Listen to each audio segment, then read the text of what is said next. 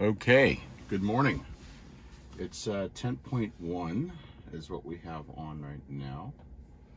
Uh, no, 10.2. We just no 10.1. We just got downloaded 10.1 last night. I uh, got the notice right when I was putting the phone away to go to sleep. So uh, usually do this test closer to one o'clock in the afternoon or two o'clock. Uh, usually with the set with the afternoon games on Sunday. So I'm thinking of trying this out it's 8.20 in the morning. It's earlier than I normally do my tests. It's earlier than I'm usually out of the house. But uh, let's try it.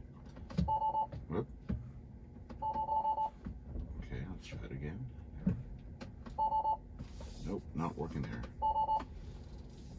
Uh, well, yesterday, uh, not yesterday, but a few days ago on 10.0.1, I was able to activate it from uh, from the driveway. So I was hoping to be able to do that, but I don't know what conditions let it do that, but it did that. So that was kind of kind of cool. I thought I'd be able to recreate it, but that's not happening. So we're going to do a regular test loop here.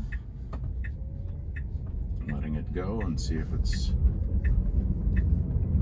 it's not going the route I normally like to take. Um, so I might have to it's going too fast once again on that dip 25 on here I'd like it to take a right so I'm telling it to indicate, but I don't think it's going to do that. So I'm going to have to probably intervene.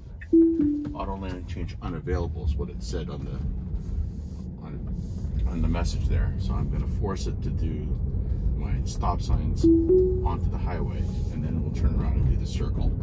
This is my normal test route one, um, basically my calibration test that I do um, to give it the hardest things I have in the area before I just use it for regular stuff, right? So it's kind of the deal here. Now this thing at an angle. Hopefully I'm shooting this right. Um, yeah, that's it. another new Model 3 in the neighborhood. It's good. Everybody's getting Model 3s. Alright. Turn. And then this is the stop sign to a highway.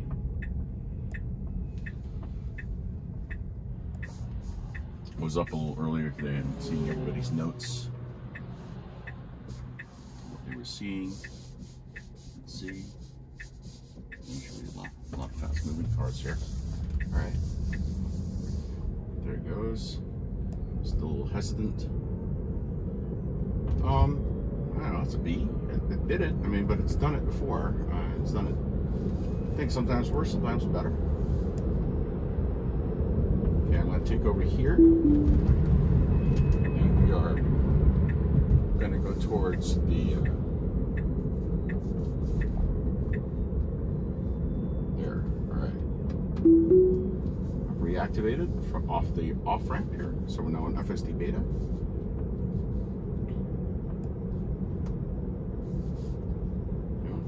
There, give us the more those of you guys that are that pressed the button um, yesterday to get evaluated. Just some things to expect. Apply right trick. Okay.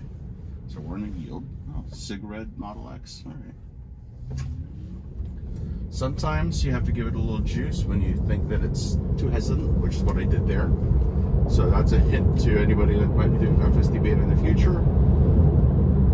It's going to do this loop. Um, it did this on 10.0.1, so that's why I figured, or was it 10.0? So I figured it should be able to do it again on 10.1. Not always a good assumption, but it's an interesting test, uh, as it is through these loops. It's kind of my pseudo jug handle for New Jersey kind of thinking. If you can do these loop the loops, it should be able to handle the jug handle, but who knows. Now, I've been reporting a phantom forward collision warning and it gets once it gets into this highway heading in. So we'll see. down sign. Looks like it may have, uh, I don't know if it saw it or not, or if just got lucky. All right.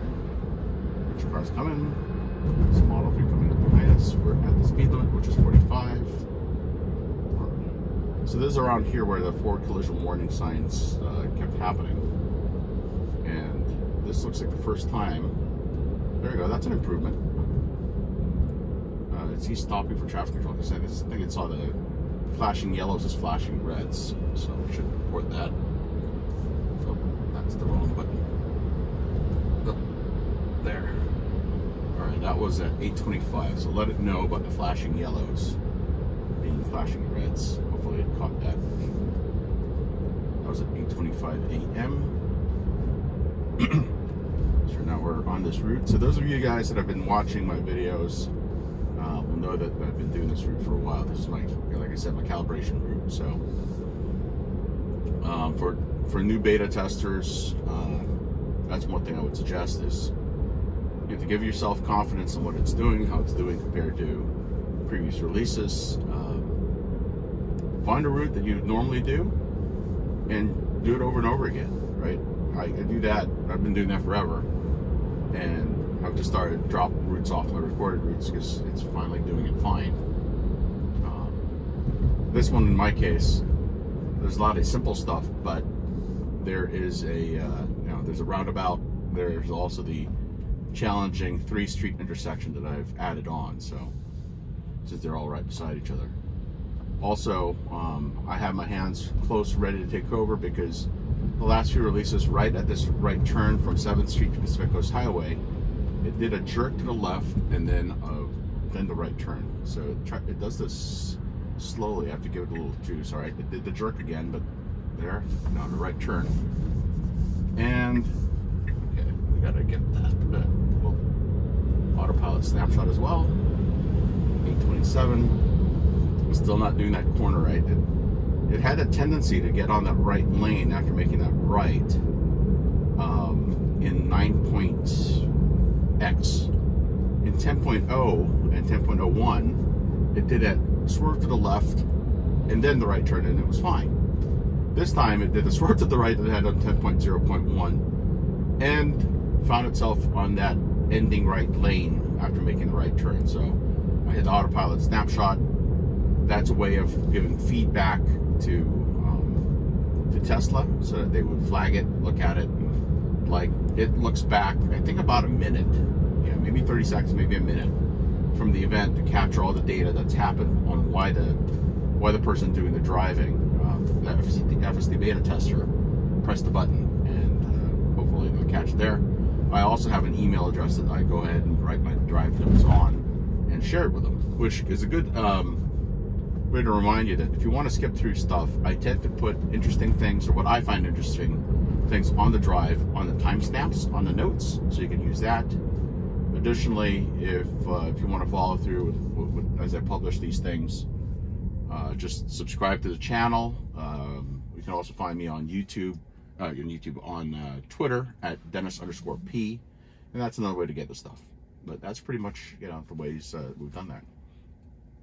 And doing it so early in the morning, I'm not seeing as many as much traffic, and uh, you know um, it's different from my normal tests because I mean I normally test like I said in the afternoon.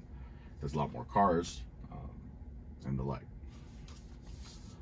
Now, uh, should be alert to always re be ready to take over because I am responsible for this drive. The car is not, Tesla is not. I, I took full full responsibility for that.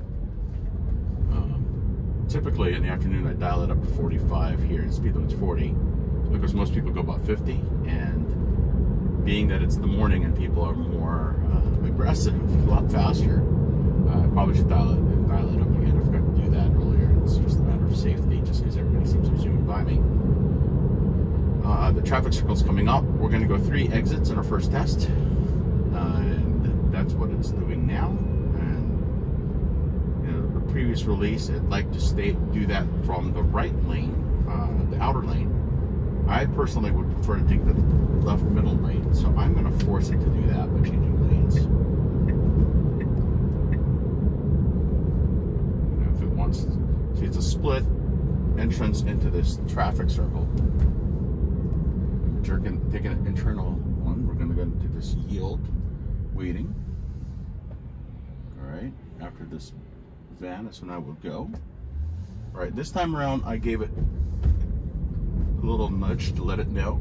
It merged right into this outer lane. We're going three over, so it should have just uh, taken it, but Luckily, there weren't that many cars. All right, now it's gonna exit. All right, so it did do the, uh, the traffic circle. And our destination's on the left over here based on what I put in navigation. So it's gonna put us in the turning lane.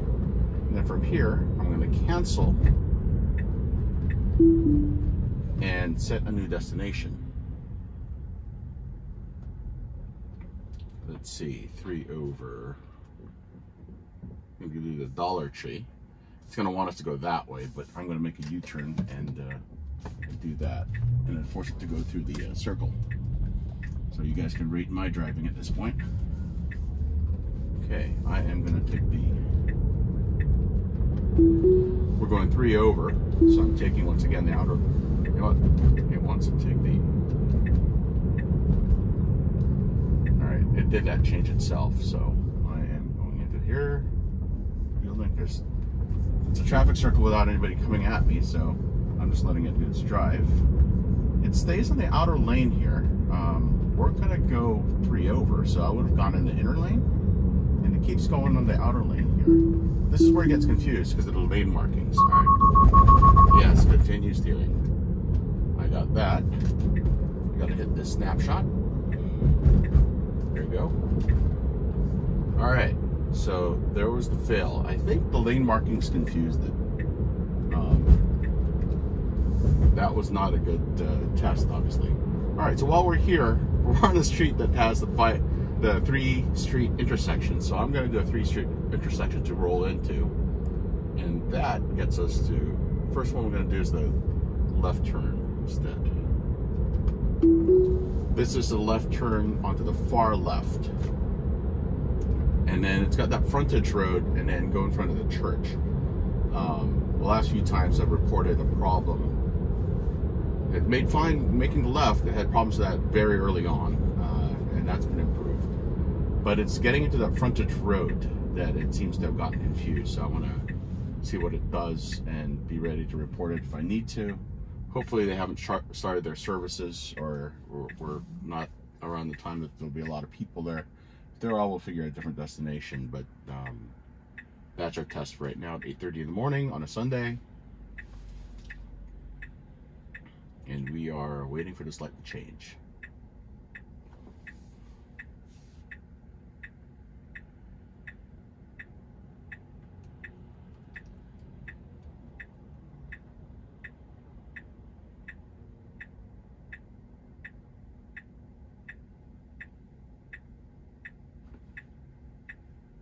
All right. So like I said, I'm gonna put timestamps on the notes on where where things are that are interesting you can get to, disengagements, that sort of thing.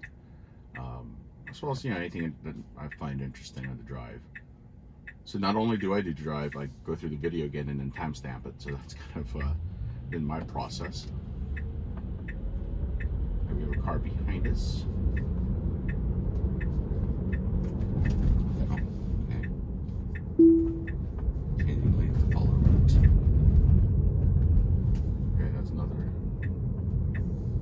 Slow on the uh, uptake here. All right, so here's the frontage. All right, still doing that frontage problem. Autopilot snapshot recorded. 834. All right, that was interesting. Okay, let's see. We're in the 5 Street intersection. Let's go right turn to the right don't think it's following no right on red signs yet. Um, but that's what we have on this test. We're gonna make a, basically go back to the same street we were on, have it make a right turn onto that, uh, onto that street, and there's a, there's a no right on red sign here. All right, we're back on autopilot. Of course, we're gonna get it when it's green, so if it's green, it should make that right turn just fine. It's a far right turn. So here's the sign, no right on red. Oh, it's a red. All right, let's see what it does. I'm ready to, to stop it because what it's done before is stop here and then creep, which we don't want to do. Yep, see it's about to go. Whoop. All right, we got to go back there.